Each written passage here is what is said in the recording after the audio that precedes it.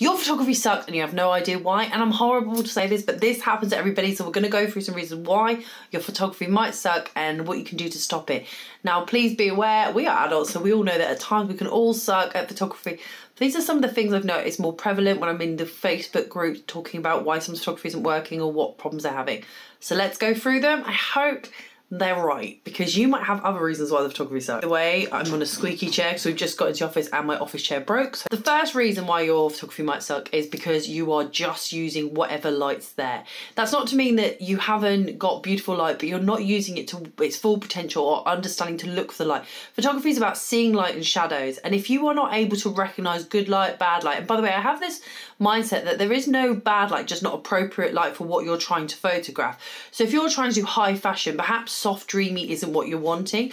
Maybe you want that stark midday light, but you have to work with the lights available and understand that the light really does impact how your images come out. And so you need to be able to recognize good light and bad light, depending on what project you're doing, because we so easily settle. And that doesn't mean, oh, natural light photographers don't know what they're doing, or you've got to use off camera flash or whatever, right? Just being able to use light, artificial or natural, to the best of your abilities is something that's going to set you apart. Now, this one I've seen quite a few times, and this is. Uh, white balance, where people don't really understand how white balance works and they are not using it properly.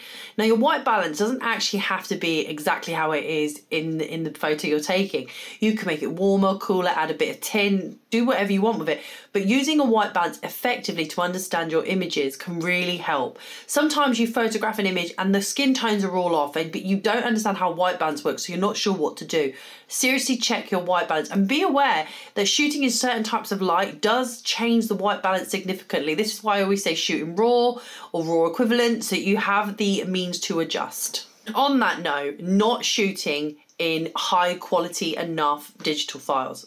Digital resolution revolution. And not shooting high quality enough so I in the past have just shot in JPEG and I felt for me this is when I was on a full frame it was not good. It turned out awful and I had loads of problems.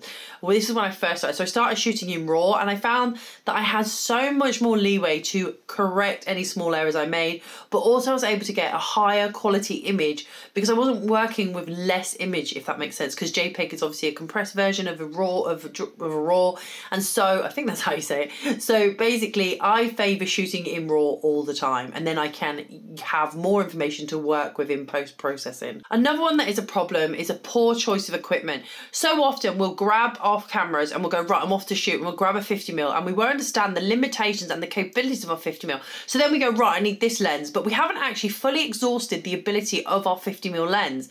We haven't fully exhausted the kit lens that we've got and understood its capabilities because once you can get a good photo of that and you understand what predicament it leaves you in it when you want to go a bit further or it doesn't quite punch in as much much, you can actually then make informed decisions on the next equipment that you're going to purchase. Because so often I see people going from a kit lens to a massive zoom lens and then thinking, oh, why can't I take decent portraits? Another thing that might be affecting your photography and the reason why it might suck is because you are literally choosing the wrong time of day. Be it you want uh, you want misty sunrise and you're going too late or you're going too early or perhaps you're going to a location where it's too busy. You're not doing research on sunsets, sunrises, the weather, what what weather's going to hit when, when's the location super busy. This is down to you not pr- pr- this is down to you not planning your photo shoot effectively. You need to plan your timings.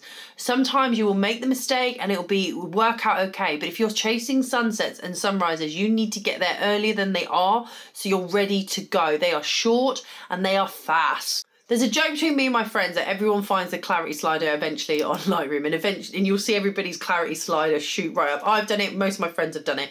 And this is where when we get so involved, we over process the image. Now, there are certain types of photography that have that aesthetic, that have that look, but sometimes even a simple portrait can be overworked and lose its appeal. The super plastic skin can really fall out of favour with people, and so often people don't understand that you you need to get as much right in camera. There's no point trying to save it in Photoshop if you're not getting the bare bones right in camera.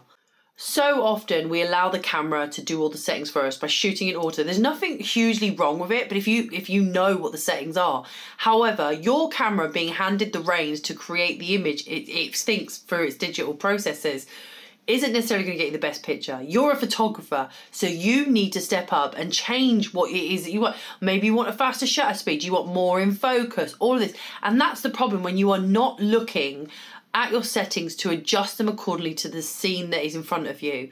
You make the mistake. So if you allow the camera to do it, it could easily overcompensate, undercompensate, not get the right thing in focus. So take control and understand how your camera works. One of the ones that leads on for that is a poor choice of focal length or depth of field. So sometimes people choose the wrong focal length for the image they're trying to capture, or they'll choose the wrong depth of field. So you will choose, I know, an f1.8 because you've got a 1.8 so you'll stick with the f1.8 and forget that when you're shooting group shots you're more likely going to miss focus and they're going to be slightly fuzzy. So think about that. Like people will use an 85 mil to capture a family portrait and go all the way back and wonder why they're ca- they when they zoom in their people are pixelated. Because you need to use the right focal yes you can get that compression but you have to, you can't then punch into that picture as much as you wish you could.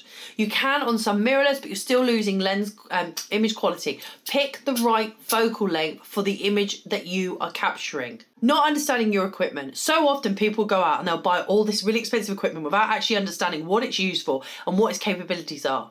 Don't rush off and buy the latest lens or the latest camera body if you can't even use the one you're using now. Because it doesn't matter how much money you throw at a lens, it will not do what you want it to do if it doesn't get told the right thing.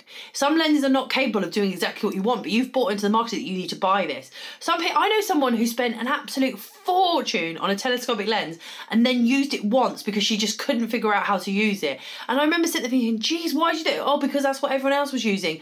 But yet she wasn't even shooting that subject. She just assumed that. Understand your equipment before you start adding to it. Because if you do not, you are going to waste valuable time and money and lose education because you are not trying and pushing your lens and your equipment to the very end.